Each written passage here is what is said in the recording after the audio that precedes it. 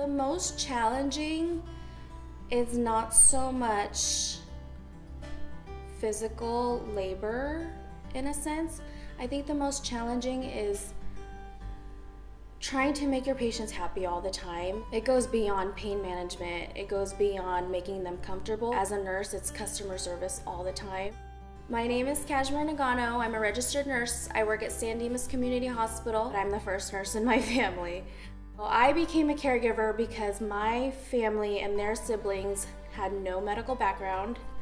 Um, my grandma, well, actually, both my grandmas on my mom and my dad's side were sick growing up. So I felt the need to be that person and that advocate for my family. A lot that keeps us sane at work are the people that you work with. you know, when they say that your squad goals, it's true because they know what you're going through. I feel like uh, conversations with another healthcare provider um, just make sense. I can't, I wouldn't be able to tell my my husband things that go out go on at work with him understanding. It's just a different kind of relationship. Like having a like a having your close friends at work as your support group is what keeps you going.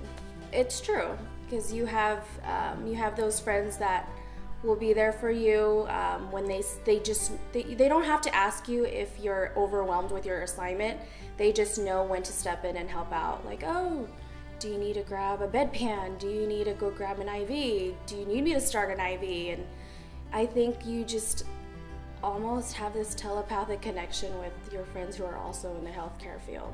I think the most challenging is trying to make your patients happy all the time, especially in a case where nothing will make them happy.